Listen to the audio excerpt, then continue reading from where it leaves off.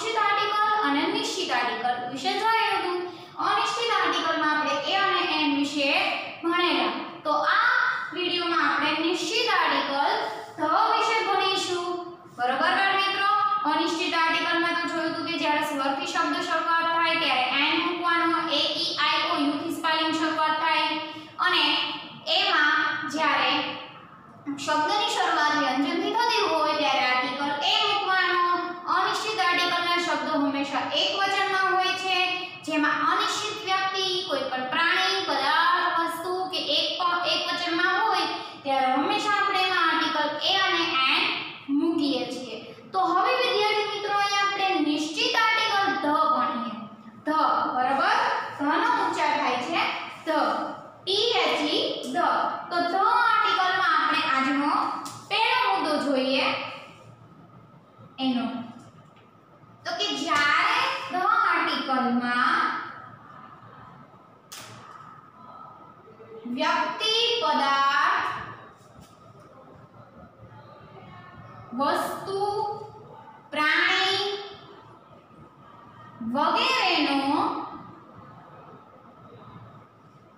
એકવાર ઉપયોગ થઈ ગયા પછી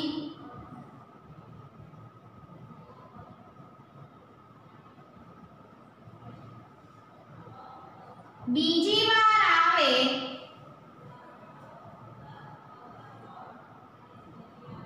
તે જ પદાર્થ વસ્તુ કે વ્યક્તિ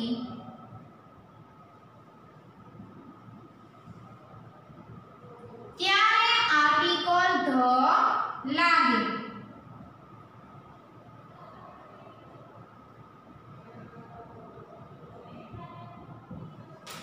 ત્યારે આર્ટિકલ ધ લાગે શું લાગશે વિદ્યાર્થી મિત્રો કે જ્યારે અહીંયા વ્યક્તિ પદાર્થ વસ્તુ પ્રાણી વગેરેનો આપણે એકવાર ઉપયોગ કરી લીધો એક વાક્યમાં એ આવી ગયું અને પછી ફરીવાર એ જ પદાર્થ વસ્તુ કે વ્યક્તિ બીજી વાર એ જ વાક્યમાં વપરાય તો હંમેશા આપણે એમાં ધવલ લગાડીએ છીએ. કયો લગાડીએ છીએ, વિદ્યાર્થી મિત્રો?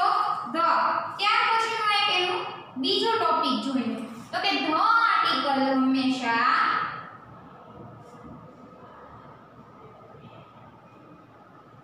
એ કોઈ પણ અવકાશી પદાર્થો હોય.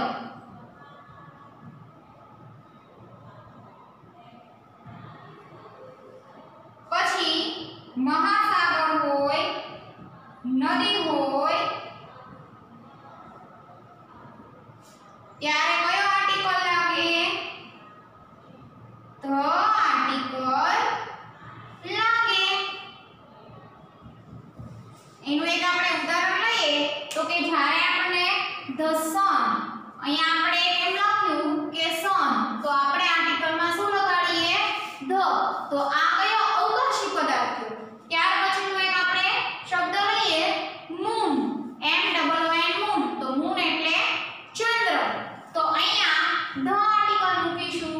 ત્યાર પછીનું એક આપણે બીજું લઈએ ઉદાહરણ. તો કે સ્ટાર્સ તો ત્યારે તો સ્ટાર્સ, પછી મૂન, સન, આ બધા ઉદાહરણ જોયા? એમાં આ બધા શબ્દોની તમે જોશો તો આર્ટિકલ્સમાં ધ મૂક્યા છે. શું કામ? કારણ કે બધા શબ્દો છે, એ બધી જ વસ્તુઓ છે, એ અવકાશી પદાર્થ છે. બરોબર બાળ મિત્રો? અને એક જ છે. અને ત્યાર પછી એક આપણે જોયું કે એ અને એન આર્ટિકલમાં જ્યારે એકવચન શબ્દો હોય, ત્યારે જ આર્ટિકલ એ એન લાગે છે. અને ધ આર્ટિકલમાં એવું નથી કે શબ્દ જ્યારે બહુવચનમાં હોય તો પણ ધ આર્ટિકલ લાગે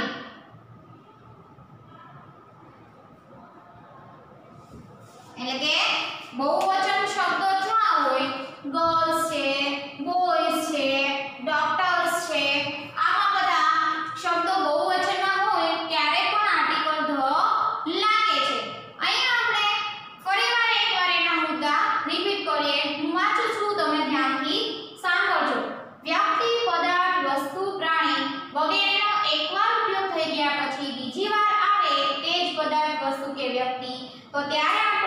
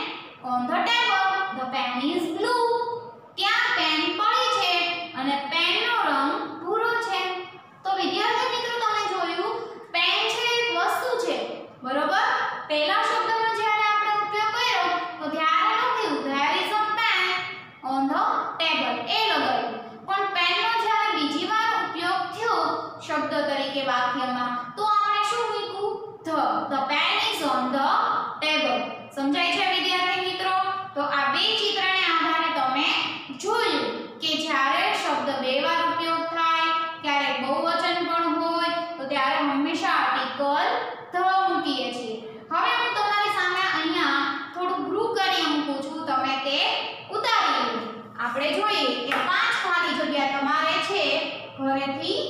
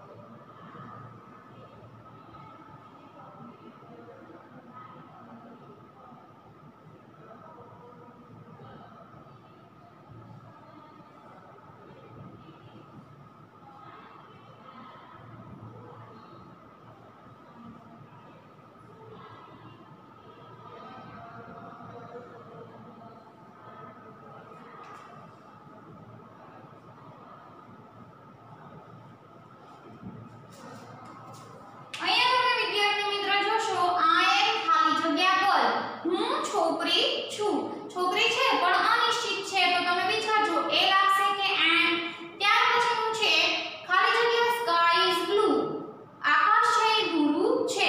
તો આકાશ છે, એ અવકાશી પદાર્થ છે. તો કયો આર્ટિકલ લાગશે?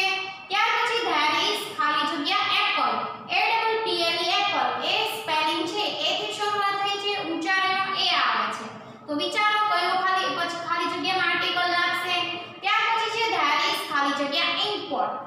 ધીસ ઇઝ ખાલી જગ્યા ઇન્ક પોટ ઇન્ક પોટ છે આઈથી સ્પેલિંગની શરૂઆત થઈ છે અને સ્વરમાં છે. તો કયો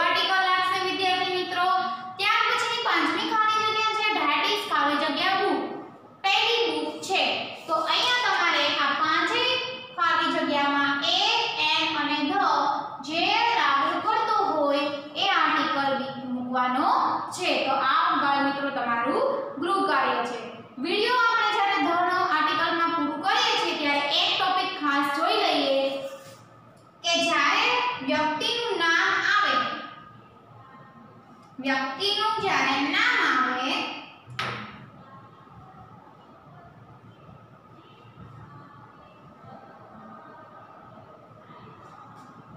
ત્યારે કોઈ પણ આર્ટિકલ લાગે નહીં.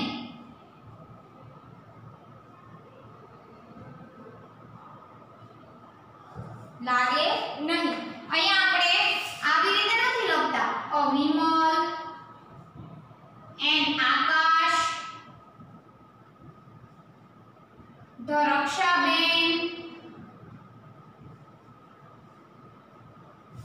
એટલે આ વિદ્યાર્થી મિત્રો ખાસ ધ્યાન રાખવાનું કે જ્યારે વ્યક્તિનું પ્રોપર નામ આપી દીધું હોય વિમલ છે આકાશ છે રક્ષાબેન છે ત્યારે આપણે આર્ટિકલ્સ મૂકવાનો આવતો નથી જો તમે આર્ટિકલ મૂકો તો તમારું ખાલી જગ્યાનો શબ્દનો જવાબ ખોટો પડે ખાલી જગ્યા ખોટી પડે એટલે ખાસ યાદ રાખવાનું કે જ્યારે નામ આપ્યા હોય ત્યારે આપણે એ એન કે ધ કોઈ પણ મૂકવાના નથી. તો વિદ્યાર્થી મિત્રો, તમને એ એન આર્ટિકલ અને ધ આર્ટિકલ નિશ્ચિત અનિશ્ચિત બંને પ્રકાર વ્યવસ્થિત સમજાણા હશે. ના સમજાય તો ફરી ફરીને વિડિયો જુઓ. ત્યારબાદ તમારું આગળનું કાર્ય કરો અને ઘરે બેઠા